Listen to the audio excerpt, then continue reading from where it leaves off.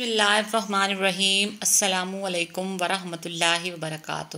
بہترین صبح وہی ہوتی ہے جو اللہ کے ذکر سے شروع کی جائے۔ صبح بخیر۔ عائشہ اسلامی کوٹس۔ نبی کریم صلی اللہ علیہ وآلہ وسلم کا ارشاد ہے، اللہ تعالیٰ ہر معاملے میں نرمی کرنے کو پسند فرماتا ہے۔ صحیح بخاری۔ داڑھی اور پردے کے لیے اتنی دلیل کافی ہے کہ کائنات کے سب سے حسین چہرے پر داڑھی تھی اور کائنات کی سب سے پاکیزہ عورت نے پردہ کیا تھا۔ یا اللہ، مجھے اتنا وسیع رزق عطا فرما کہ مخلوق میں کسی کا محتاج نہ رہوں اور مجھے دوسروں پر خرچ کرنے والا بنا۔ آمین۔ یا رب العالمین۔ کھانے میں کوئی زہر گھول دے تو اس کا علاج ممکن ہے، مگر کان میں کوئی زہر گھول دے تو اس کا علاج نہیں ہے۔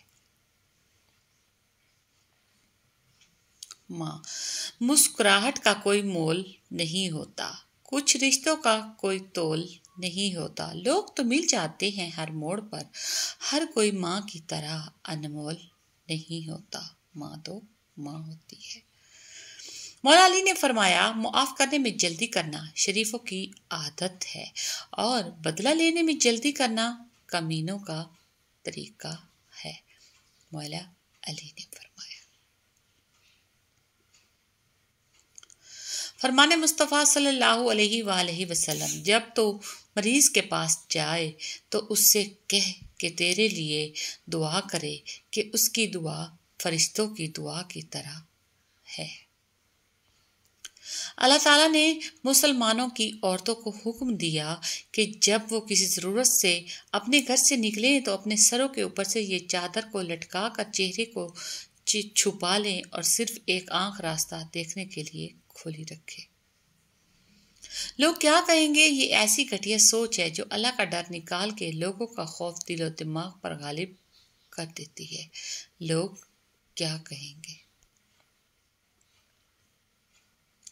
دلوں میں رہنا سیکھیے، غرور میں تو سب ہی رہتے ہیں۔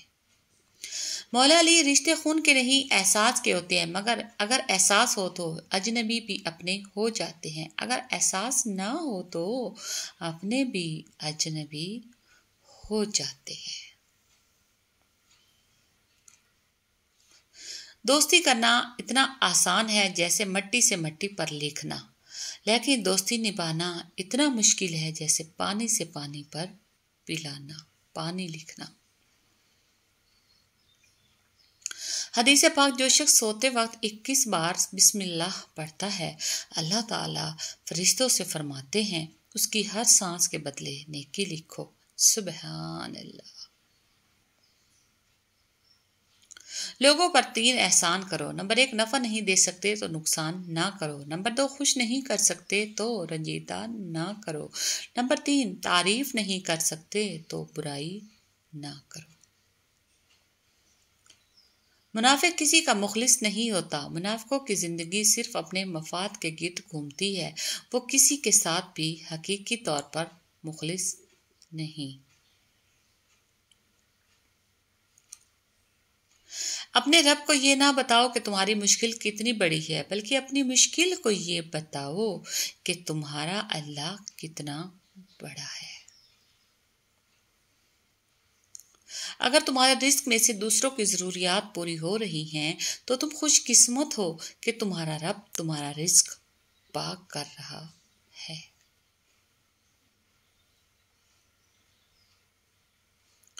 یا اللہ مجھے اتنا وسیع رزق عطا فرما کہ مخلوق میں کسی کا محتاج نہ رہوں اور مجھے دوسروں پر خرچ کرنے والا بنا۔ آمین۔ سما آمین۔ والدین کا دل جیت لو، کامیاب ہو جاؤ گے، ورنہ ساری رات، ساری دنیا جیت کر بھی ناکام رہو گے۔ رشتے رشتے پھولوں کی طرح ہوتے ہیں، اگر توجہ نہ دی جائے تو مرجھا جاتے ہیں۔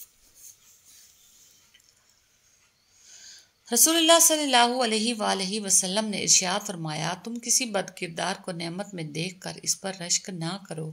اس کے لیے اللہ کے ہاں ایسا عذاب ہے جس میں وہ مر بھی نہیں سکے گا۔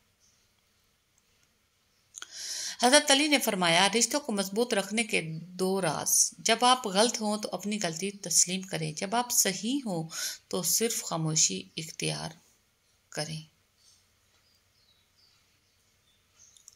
اللہ تعالیٰ کو زبان اور دل کا سخت ہونا پسند نہیں، اسی لیے اللہ نے ان دونوں کو بغیر ہڈی کے بنایا ہے